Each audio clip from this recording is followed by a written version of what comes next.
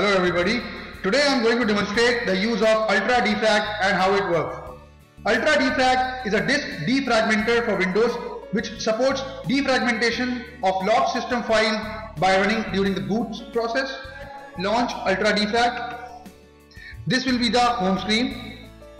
Select the drive you want to check.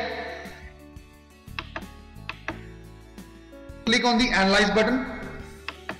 It will start analyzing that how much percent defragmentation can be done and after successful analysis you'll see a clear representation in the main window. And then click on the defragment button. It will start defragmenting the drive. After successful defragmentation you can click on show report button in order to read the reports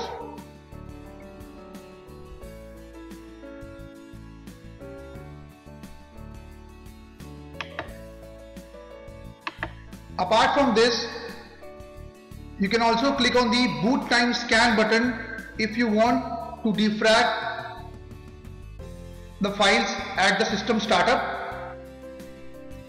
And also you can defrag the individual file or folder by right clicking on the folder selecting the option ultra defrag and clicking on the defragment option so this way we can say using ultra defrag user can able to defrag at startup can defrag a single file or folder or an entire directory.